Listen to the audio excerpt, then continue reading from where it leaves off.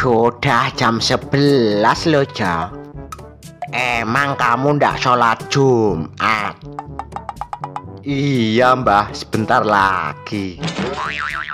Nanggung dikit lagi sudah selesai. Ya udah kalau gitu. Mbah berangkat duluan ya, Jo.